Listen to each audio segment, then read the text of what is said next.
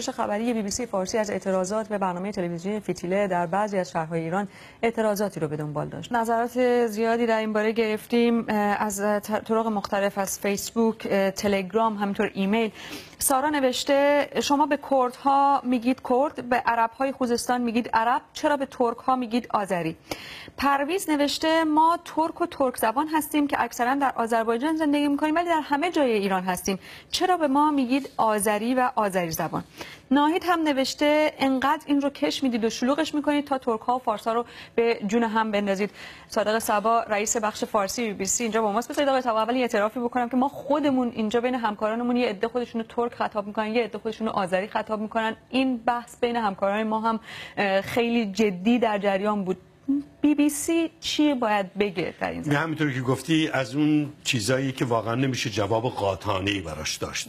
همین همکاران ما اینجا بعضی به خودشون میگن آذری هستیم بعضی ها میگن ما ترک هستیم.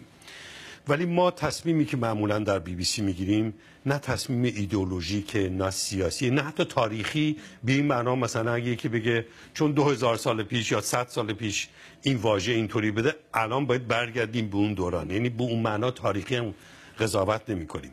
ما یه روش خیلی ساده تری در پیش گرفتیم و ما می‌گوییم که در مورد این واژه ها ببینیم چه چیزی در زبان مردم در حال حاضر رایجه. در مردم در این باره اون چیزی رو که ما می‌بینیم وجود داره اینه که هم مردم ترک به خودشون میگن ترک هم دیگران به اینها می‌گویند ترک بنابراین برای ما در بی بی سی کلمه اولی که ما استفاده می‌کنیم برای توصیف این قوم در ایران ترک هست و بله. چیزی غیر از این نیست ولی توی گزارش هم دیدیم همینجا همکار ما گفت آذری یعنی به نظر میاد که این قاطعیت در آغاز وجود نداشت که چی استفاده بکنید ببینید درسته. آذری هم به نظر ما ما می‌تونیم استفاده بکنیم به معنای اینکه که کسی اهل آذربایجانه. ولی شما اگر مثلا یکی که فرض کنید اهل زنجان باشه یا نمی‌دونم اگه ترک اردبیل باشه. اردبیل باشه اگه بهش بگی آذری شاید توصیف دقیقی نباشه. آذری به معنای آذربایجانی به نظر من فکر نمی کنم ترک هم بهش ایراد داشته باشند. یعنی اهل آذربایجان هست. ولی از لحاظ قومیت ترک هست زبان هم ترکی هست. ترک زبان هم من می‌دونم خیلی حساسیت دارن همطوری که به عرب زبان حساسیت دارن کرد زبان حساسیت دارن. در این مورد هم اگه ترک زبان به معنای این باشه که اینا ترک نیستن فقط زبانشون ترکه خب ما استفاده نمی کنیم ولی اگه مثلا بگید شهریار شاعر ترک زبانه یعنی به زبان ترکی شعر گفته. بله. من فکر می‌کنم ایرادی داشته باشه. برای اینکه اون ملیت نمی‌خوام ازش بگیریم. میگیم زبان یعنی هم ترک هم ترک زبان.